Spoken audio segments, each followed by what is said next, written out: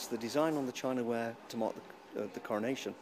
Um, it features a newly painted coat of arms uh, that's never been used before.